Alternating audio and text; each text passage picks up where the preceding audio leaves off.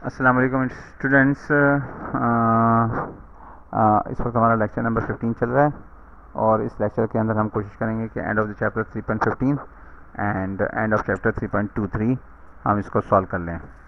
अच्छा हम अपना लेक्चर शुरू करते हैं लेकिन इससे पहले आ, थोड़ी सी बात कर लें नमाज़ की कि हजू अलैहि वसल्लम ने फरमाया कि मेरा दिल चाहता है कि मैं कुछ जवानों को कहूँ कि वह बहुत सारा ईंधन इकट्ठा करके लाएँ और मैं उनके घरों पर जाऊँ, जो अपने घरों पर नमाज़ पढ़ लेते हैं। तो अल्लाह ताला के नबी को इतनी शफकत और इतनी मोहब्बत होने के बावजूद इतना गुस्सा है कि चार ये रहे हैं कि ईंधन ला के उनके घरों को आग लगा दी जाए, जो लोग घर पे नमाज़ पढ़ लेते हैं। नमाज़ नहीं पढ़ते उनकी बात नहीं हो रही है। नमाज़ पढ़ लेते हैं, उनकी बात हो रही है। तो घरों में नमाज़ नहीं पढ़नी है। इन घरों में मस्जिद में जाके पढ़नी है, अगर सूरत हाल ऐसी हो और मौका और मुनासबत से अगर इजाज़त दें हालात, लोग नमाज़ पढ़ने जा रहे हो आपके मोहल्ले से तो आप भी चाहें नमाज़ पढ़ने के लिए। और तरावी की नमाज़ भी पढ़ें। रमज़ान का वक्त ऐसा है कि नफलों का सवाब फ़र्ज़ों के बराबर और फ़र्ज़ सत्तर फ़र्ज़ों के बराबर कर दिए जाते हैं। सारी ज़िंदगी अगर आप नमाज़ पढ़ते रहें और नफल पढ़ते रहें तो एक फ़र्ज़ के बराबर नहीं हो सकता। लेकिन रमज़ान के मौके में कीमतों की रमज़ान के महीने में आमाल की कीमत को बढ़ा दिया जाता है। तो अल्लाह ताला हमें कहने सुनने के साथ अमल की तोफ़ी का फरमाएँ और हम जो है ईमान और अमल के लिए इनसे तरक्की कर रहे हों। सो so, मैंने अपना लेक्चर रिकॉर्ड कराना शुरू कर दिया है। एक मिनट ले लिया आपको। आपका मैंने कुछ इस तरह की बातों में। चल अल्लाह खैर करेगा, अल्लाह इसमें बरकत देगा। अच्छा जो सबसे ज़्यादा ज़रूरत है ना, हमारा जो टॉपिक चल रहा है, वो है मैश एनालिसिस नोडल एनालिसिस हमने लास्ट टाइम किया था और वो हमने ख़त्म कर लिया था। और उसकी प्रैक्टिस भी हमने अच्छी खासी कर ली थी और मैंने आपको वीडियो की सूरत में वो प्रैक्टिस अवेलेबल कर दी थी। आपको प्रैक्टिस करना बहुत ज़रूरी है। अगर आप मेरे वीडियोज़ को देखते देखते अगर कॉपी पर भी लिखते हैं और लिखते चले जाते हैं तो वही प्रैक्टिस है। एग्ज़ाम्पल को देख देख के सॉल्व कर लेते हैं और एक एक स्टेप को समझ समझ के अपनी कॉपी पे लिख लेते हैं तो वही प्रैक्टिस है। लेकिन ये है कि असल प्रैक्टिस ये है कि आप कॉपी किताब बंद करें रेडियो लेक्चर बंद करें और अपना प्रॉब्लम सॉल्व करें और वही वाला प्रॉब्लम सॉल्व करें जो मैंने सॉल्व किया हुआ है। और फिर बाद में आपको वो वाले प्रॉब्लम भी सॉल्व करना आ जाएँगे जो मैंने सॉल्व नहीं किए हुए, वो आप उससे हो जाएँगे। असाइनमेंट मैं देने वाला हूँ इंशाल्लाह इस हफ़्ते। इस हफ़्ते हमारा क्विज़ भी है और नेक्स्ट हफ़्ते में आपका असाइनमेंट वीडियो होगा और एक और क्विज़ भी होगा। And that will be from chapter number three तो जो क्विज़ है, ये नोडल एनालिसिस तक आ रहा है और नोडल एनालिसिस का भी मैं एक छोटा सा ही सवाल करूँगा बहुत ज़्यादा।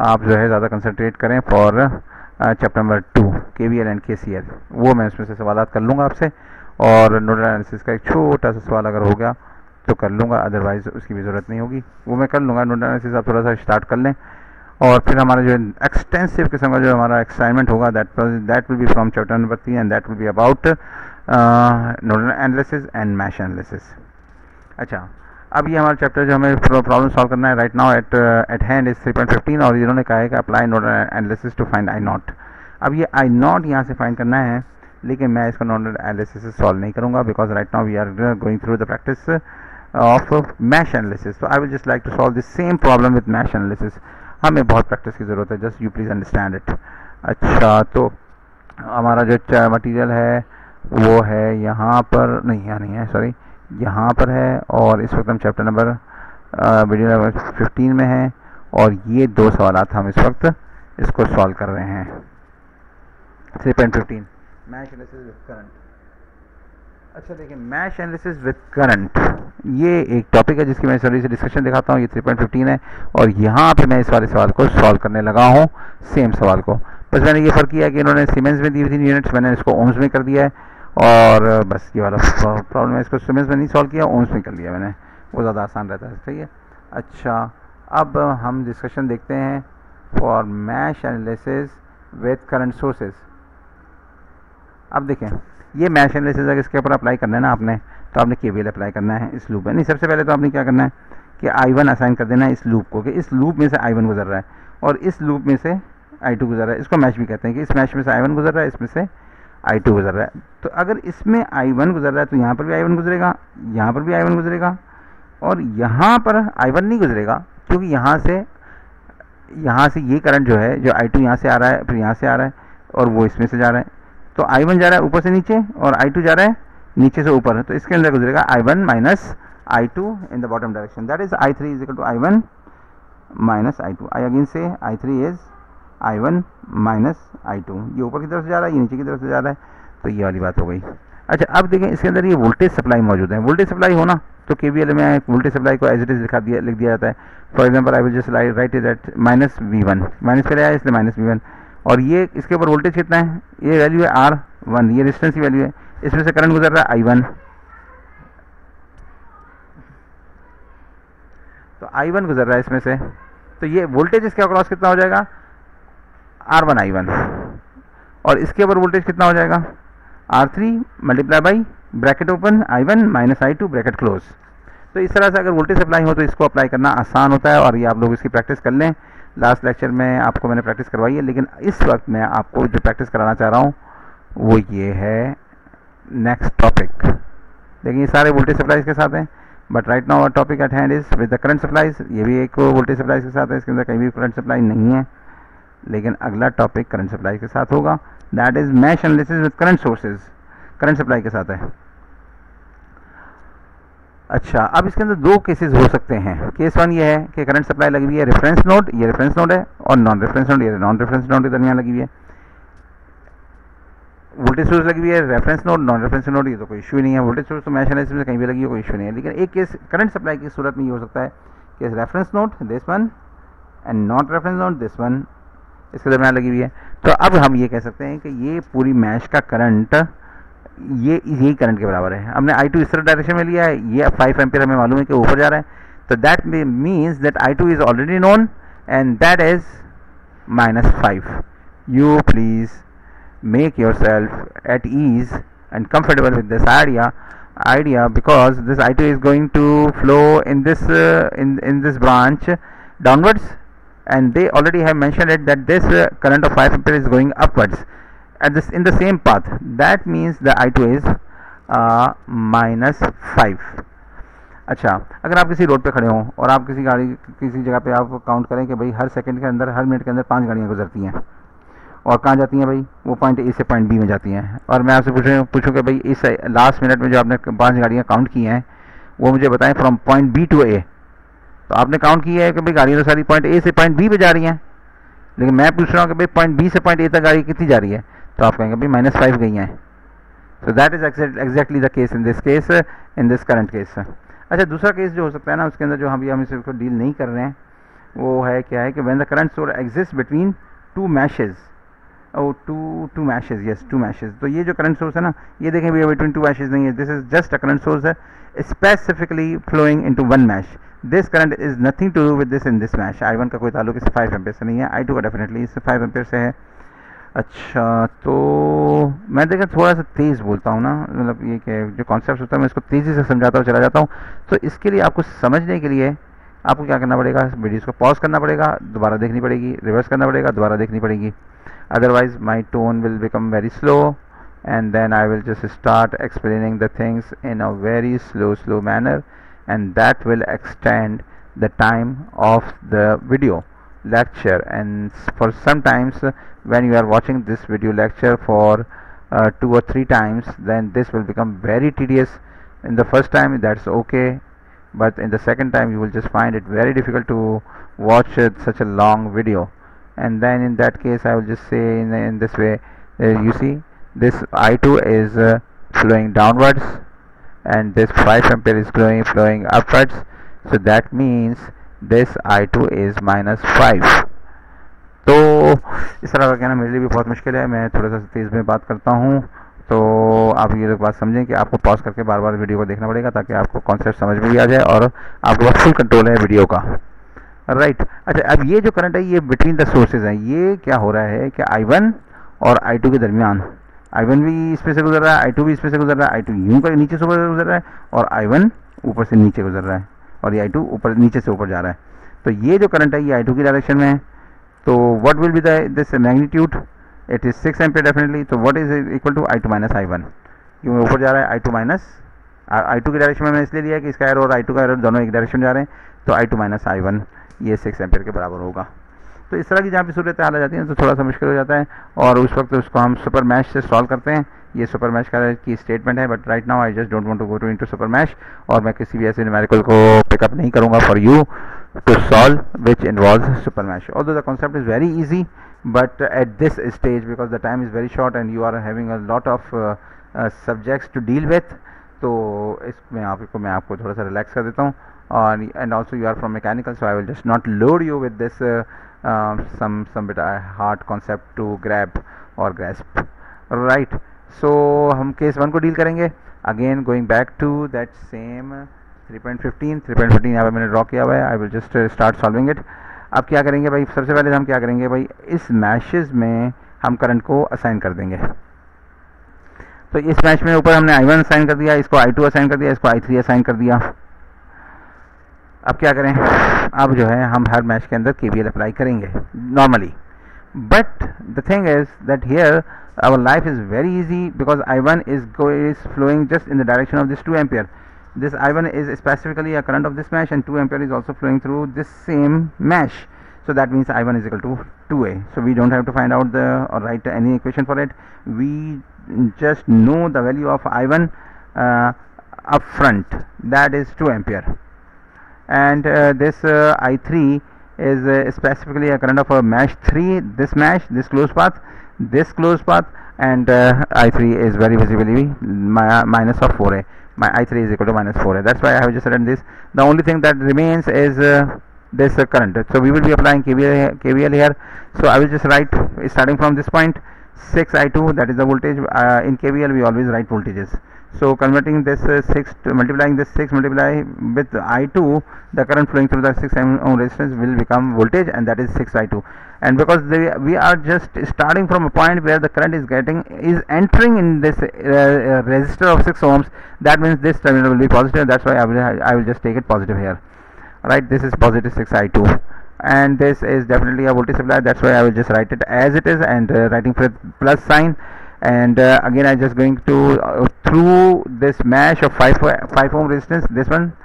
So what current is through this uh, 5 ampere? Definitely we are going in the direction of i2 uh, from uh, top to bottom.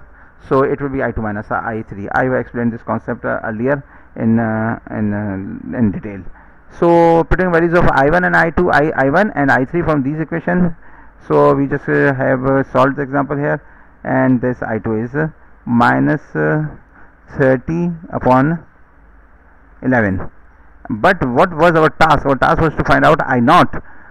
So i naught is the current through oh this uh, i2 uh, this i naught. This i they have just mentioned it i naught.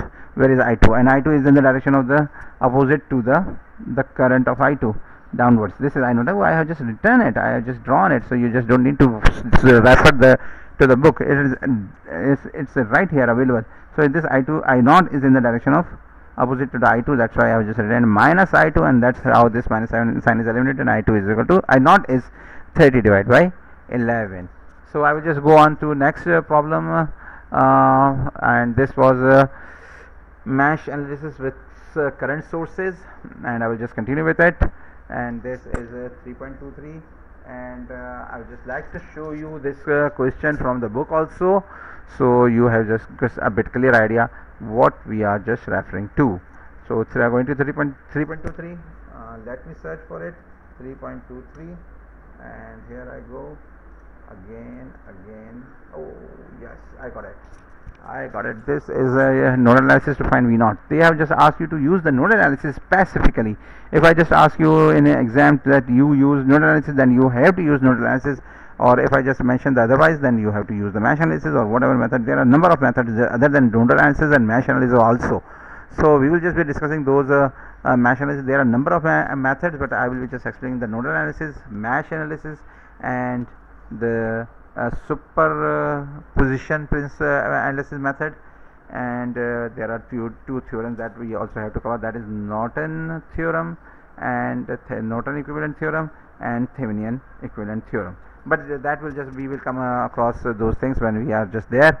Uh, but for right, right now we have to just solve this but not through nodal analysis. I have just made this question with for question of mesh analysis so that you know so how to apply mesh analysis in the next lecture I am going to solve a particular problem using both the methods. So you have a good idea that what are the differences between the analysis but unless and until you don't do it by your hand. You are not going to learn anything from these lectures or from anywhere else.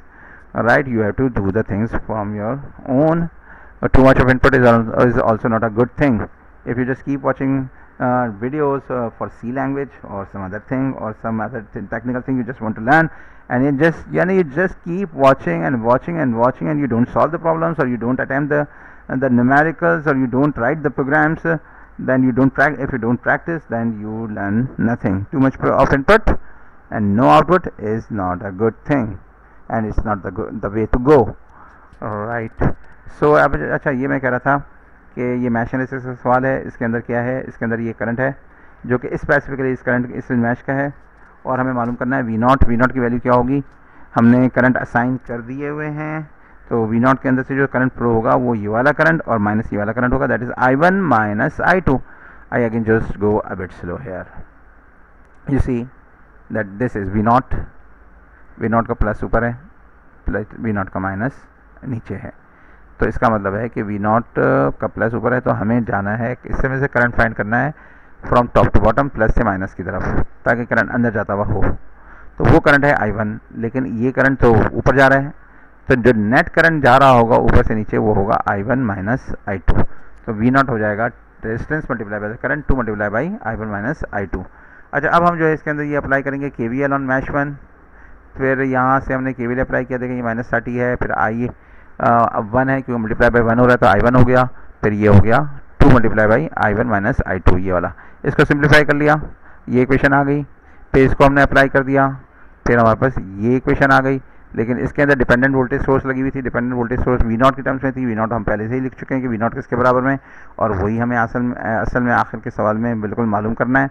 तो हमने we naught की जगह पर यहाँ पर लिख दिया to I one आई और हम किस डायरेक्शन में थे? आई टू हम गए थे यहाँ पे अप्लाई करते हुए माइनस की डायरेक्शन में तो माइनस के साथ लिखेंगे हम माइनस के साथ इन द डायरेक्शन ऑफ़ नहीं सॉरी देखिए वो भी कर सकते हैं जैसे मैंने बताया, लेकिन हम आई टू की डायरेक्शन में जा रहे हैं ना तो हम ये समझ लेंगे कि ये वी नॉट है, और इसका पॉजिटिव यहाँ पर होगा पॉजिटिव का एज्यूम करेंगे, लेकिन करंट कौन सा होगा फिर उसके अंदर? I two minus I one right I two minus I one तो ये हो गया I hope you understand this concept because हम हमेशा जाते हैं करंट डायरेक्शन में आई टू नीचे से ऊपर जा रहा है तो आई टू को हमने माइनस किया आई वन में से, इसलिए हमने इसको पॉजिटिव लिया है। और अगर मैं इसको एज इट इज़ ले लेता कि यहाँ पे मैंने वी नॉट लिखा है, ये वी नॉट आ गया है तो फिर मैं इसको ले लेता माइनस के साथ, क्योंकि ये माइनस है, और इसकी वैल्यू ये है तो बात तो एक ही हो जाती है I one minus I two है, और ये I two minus I one है, इसको मैं लेता यहाँ पे माइनस के साथ, इसको मैंने लिया है पॉजिटिव के साथ, यहाँ पे, यहाँ की बात हो रही है। ओके तो अल्लाह करे कि आपको बात समझ में आ जाए। और बड़ी प्रैक्टिस के साथ आती है बेटा, ये जो है ना बात इतने आराम से नहीं मिलती है। अच्छा फिर यहाँ से करंट कौन सा गुजर रहा है? ये भी गुजर रहा है आई टू और यहाँ से ये वाला भी करंट गुजर रहा है, जो कि ऑलरेडी नोन है। That is three that is minus three ampere I three is in the direction minus three ampere तो वो हमने वैल्यूज़ पुट कर दी, और हमने ये इक्वेशन दूसरी बना ली, और ये दूसरी इक्वेशन बन गई। इसको ज़रा आप अपने हाथ से बना के देखें। मज़ा आएगा आपको। ये इक्वेशन जब आप रीच कर जाएँगे ना then you just give yourself a pat on your back that you have understood how to apply KVL. You definitely deserve a pat on your back if you understand this thing, uh, because uh, because uh, this is is something worthwhile that you have learned mesh analysis with current sources, so you deserve it. Pat on your back, shabash beta shabash. Okay so this is equation number two और ये हम equation में डालेंगे calculator में डालेंगे इसी तरीके से क्वेश्चन डाल देंगे और ये हमें आंसर देके देगा और आई वन और आई टू की वैल्यू दे देगा। हम वी टू वी नॉट मालूम करने के लिए आई वन और आई टू की वैल्यू को कर लेंगे। ये माइनस था, वहाँ पे माइनस था माइनस माइनस प्लस हो गया। और ये आंसर आपके पास आ गया और ये आंसर मैच कर रहा है। अल्लाह का शुक्र है। तो ये हमारी वीडियो हो गई आज की और मैं इंशाल्लाह इसको अपलोड कर दूँगा जल्दी से। और बस दुआ करते रहिएगा। अल्लाह ताला हमारे साथ आसानी का मामला फरमाए और अल्लाह खैर का मामला फरमाए। ये हमारी वीडियो हो गई उन्नीस मिनट की, जो कि हमें बीस मिनट की करनी होती है। अस्सलाम वालेकुम अल्लाह